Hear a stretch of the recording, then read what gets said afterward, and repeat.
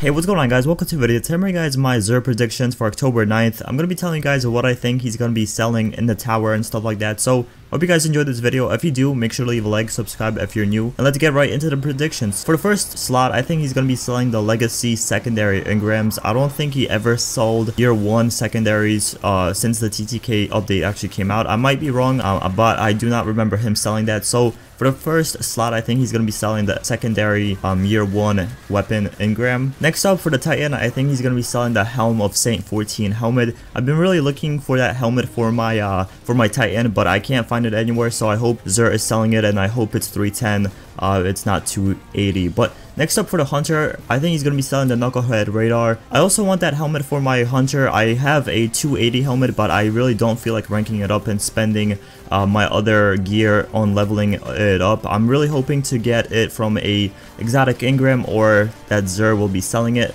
For the Warlock, I think he's going to be selling the Heart of Praxic Fire. It's a chest piece, it's really, really good for the Warlock, but it doesn't really matter for me since I do not have a Warlock. As I told you guys before, I deleted my Warlock, so it doesn't really matter what he's going to sell for the Warlock. Next up for the weapon engram, I don't think he is going to be selling a weapon engram. I think he's going to be uh, only selling gear this week. I know he sold only gear last week, but I have a really, really strong sense that he is not going to be selling any weapons this week. And finally, for the final slot, I think he's going to be selling some exotic leg engrams. I'm really, really hoping for those because legs on my character are the pretty much the only thing that's holding me back a lot.